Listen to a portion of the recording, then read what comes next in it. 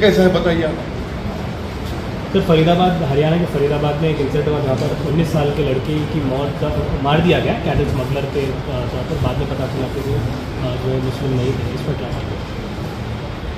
आप ये क्यों नहीं बोल रहे कि मारने वाले ये बोल रहे हैं कि हमसे गलती हो गई हमने अपने एक ब्राह्मण समाज के बच्चे गोली मार दी? ये आप पूरा बोलो ना क्यों आपको डर क्यों हो रहा आपको?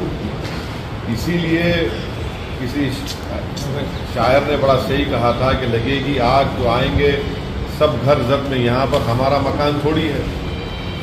अब अफसोस की बात यह है कि उन जालिमों को एक मासूम बच्चे की जान लेने के बाद कह रहे हैं कि हमारे से गलती हो गई हम एक ब्राह्मण को गोली मार दी अरे तुम एक इंसान को मार रहे भाई, उन्हें ब्राह्मण हो, हिंदू हो, मुसलमान हो, उन्हें इंसान है।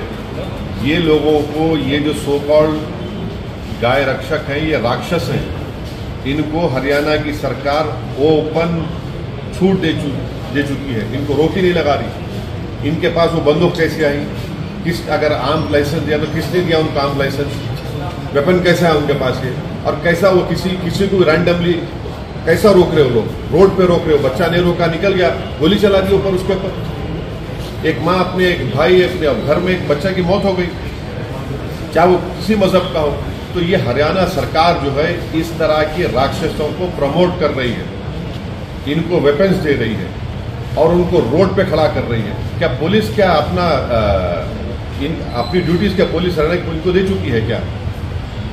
जो बच्चों का जो ज़िंदा जला दिया गया था राजस्थान के उसके बाद भी बावजूद भी वो लोग इन तमाम विजिलेंटीज को कानून अपने हाथ में ले लेते और जान, जान जाने चली आ रही लोगों।